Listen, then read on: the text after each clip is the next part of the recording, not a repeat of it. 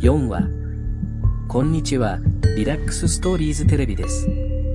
今回も、小説家、ビクトル・ユーゴからレ・ミゼラブルを紹介します。1話目では、レ・ミゼラブルのあらすじと主人公ジャンバルジャンの物語を解説しました。2話目では、ジャベール警部の物語とシャルル・フランソワ・ビアンブ・ニュミリエルの人生、そしてファンティーヌの人生解説しました。3話目では、コゼットの成長と変化、そしてマリー・スポンメルシーの人生と冒険を解説しました。1話目を主張しないと物語の文脈を完全に理解することが難しくなります。ジャンバルジャンの背景と彼の人生の旅は物語の他の全ての要素と深く結びついています。本日はテナルディエ一家第1話テナルディエの転落と再出現テナルディエ夫人の複雑な人間性へと進みます第4回レ・ミゼラブルはフランスの著名な作家ビクトル・ユーゴーによって1862年に出版された歴史小説です。この作品は社会の不正と個人の闘争を描き出し、その中で人間の善と悪、愛と憎しみ、正義と不正義のテーマを探求しています。日本では1902年に黒岩涙港によってアーム状というタイトルで翻訳され、番長法に連載されました。これにより、日本の読者にも融合の深遠な思想と鮮やかな描写が紹介され、広く読まれるようになりました。チャンネル登録、高評価、いいねボタン、よろしくお願いします。テナルディエ一家。テナルディエの転落と再出現。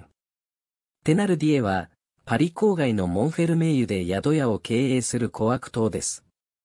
彼は背が低く、痩せギスで病人のような男で、小学校に行っていましたが、サービス料をサーブス料と語気するなど、言葉尻に鉛が出てしまうのが欠点です。彼は1815年6月のワーテルローの戦いで軍曹だったと自称していますが、これは全くのでたらめで、主保承認かかっぱらいが本業でした。この時に戦死した軍人らの死体からかっぱらった遺品を七に入れた金で宿屋を開いたのです。彼は客室の鏡一枚にも客に宿賃をふっかけるほど、楽に金を絞り取る方針で宿屋を経営していましたが、コゼットを引き取った頃には早くも宿屋の経営に行き詰まってしまい、借金がかさみ始めていました。しかし、本気で商売に取り組もうとせず、コゼットの衣類を全部パリの質屋に入れ、幼い彼女を女中としてただ働きさせて精神的に虐待する一方で、ファンティーヌに養育費と称して様々な理由をつけては金をせびり続けました。だが、コゼットを預かってから5年が過ぎた1823年のクリスマスイブに、白髪の謎の男が宿屋を訪れます。彼はコゼットを1500フランで引き渡しますが、その後、当時抱えていた借金とほぼ同額の額面でコゼットを売ってしまったことを後悔します。その後、1824年から1826年の間に宿屋が破産したため、一家でパリに移住し、ジョン・ドレットと名乗るようになります。彼はゴルボー屋敷の屋根裏部屋に住み、悪事を働く一方で、善人と重しき人物宛てに手紙を書いては娘たちに届けさせるという、小敷まがいの生活をして暮らします。これは、テナルディエ一家が生活と詐欺を通じて生き抜く物語です。1832年2月3日、テナルディエは、ルブラン氏コトバルジャンから大金をせびり取ろうとし、モンパルナス以外のパトロンミネットの主要メンバーと共に自宅に彼を監禁します。しかし、ジャベールの手で家族や仲間と共に検挙されてしまいます。彼はパトロンミネットのメンバーと共にダフォルス監獄に収容されますが、息子ガブローシュらの助力で脱獄に成功します。その後、男爵になり損ねた男テナールとして、コゼットと結婚したマリウスの前に姿を現します。彼は最終的に作者融合ですら救われないと言わしめた悪党となります。彼は脱獄を助けた息子ガブローシュの顔を覚えておらず、感謝の言葉一つかけませんでした。その後、彼は下水道に潜伏し、警察の追っ手から逃れていました。6月暴動で重傷を負ったマリウスを抱えたジャン・バルジャンと交渉するときも、バルジャンが持っていた金を山分け消しようと言いながら独り占めし、バルジャンとの遭遇を自分が有利になるような口実にしようとしました。テナールと名乗った彼は、マリウスに嫌悪感を持って出迎えられました。彼は妻と娘を連れて植民地の村へ向かうために2万フラン欲しいと言って、ジャンバルジャンの悪党ぶりを証明しようとしました。しかし、それはかえってバルジャンの偉業を称えることになり、彼の立場を悪くする結果につながりました。それはマリウスを激高させる結果となりましたが、彼はアメリカでもらえる2万フランの手形と大量の紙幣をせしめることができました。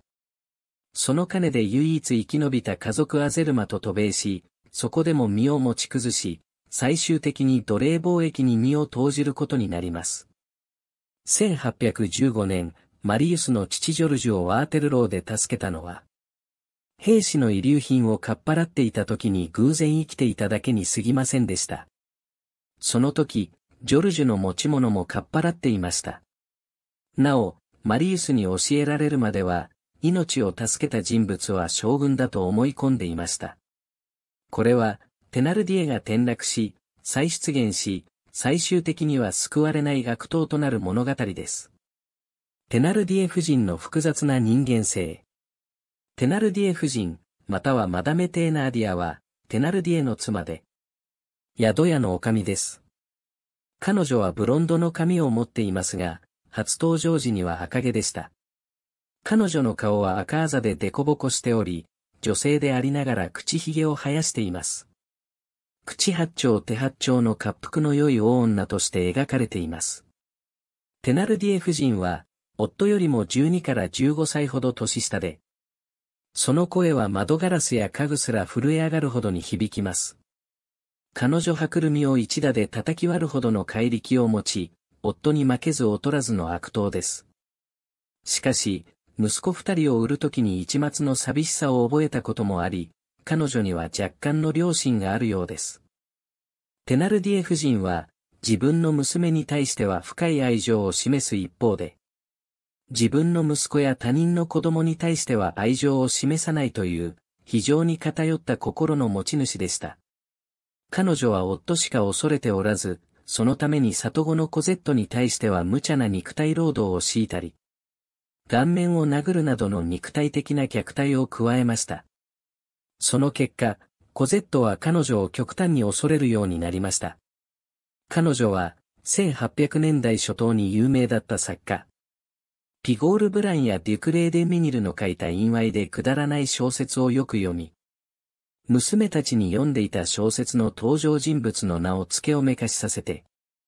荷馬車にぶら下がった大きい鎖でできたブランコで遊ばせていた。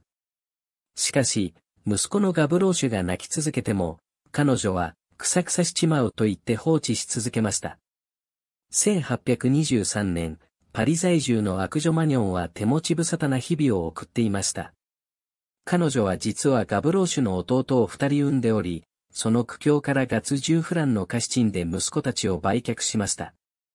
マニョンはその後、夫や子供たちと共にパリに移住し、娘たちには愛情を注いでいましたが、夫への愛情は冷めていきました。ゴルボー屋敷での一件では、夫や娘たちと共にジャベールに逮捕され、惨めな最後を迎えました。ゴルボー屋敷待ち伏せ事件では、男たちが次々と降参する中、最後までジャベールに抵抗しましたが、結局、先に逮捕された二人の娘の身の上を嘆きながら、夫と一緒に逮捕されました。佐渡公爵も収監されたサンラザール監獄で余震中に極死しました。いかがだったでしょうか？この動画では、ナルディエ一家第一は、テナルディエの転落と再出現。テナルディエ夫人の複雑な人間性、第4回をお送りしました。最後まで視聴してくださったことを心から感謝しています。次回は、テナルディエ一家第2話、エポニーヌ、愛と犠牲の物語、アゼルマ、影の中の少女、ガブローシュ、フロージの生き様へと続きます。第5回をお送りします。皆さん、リラックスストリーズテレビを最後まで見てくださって、本当にありがとうございます。次回作も今、一生懸命作っています。ふわふわ、まったり、時々ドキドキするようなお話もありますけど、楽しみにしていてくださいね。ああ、忘れるところでした。チャンネル登録と、いいねボタンをポチッとしてくれると、私たちはとっても嬉しいです。それでは、またお会いできる日を楽しみにしています。またね。